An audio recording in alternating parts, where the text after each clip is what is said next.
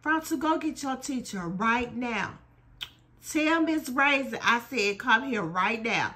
Hey y'all, what to do? I'm back in the building again with another video. And if you have already subscribed to the channel, don't forget to like, share, and subscribe. So y'all, my daughter Frontal is in summer school.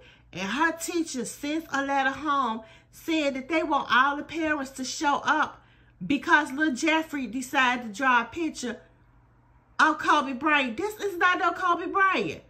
I could I I could have went on to the nail shop instead of coming here. This is ridiculous. This don't look nothing. This don't even look like that man. And in, in the time that she took write that damn letter, talking about come and be supportive, I, I could have been doing other stuff. I could have been frying some chicken, washing some clothes, um, getting these tracks took out of my head. I could have been doing a lot of stuff. Instead, this look like the man that said that be cutting meat at the corner store. This don't look nothing like Kobe Bryant. So Miss Raisin, get over here. I'm gonna holler at her because this is ridiculous. And I don't want I I I I'm so bad I don't know what to do. What what do this look like?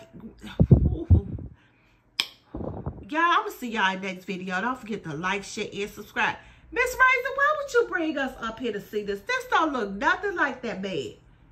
This look like Mr. Charlie from the uh, quarter store. This don't look nothing. I'm going to see y'all next time. I'm so damn mad I don't know what to do.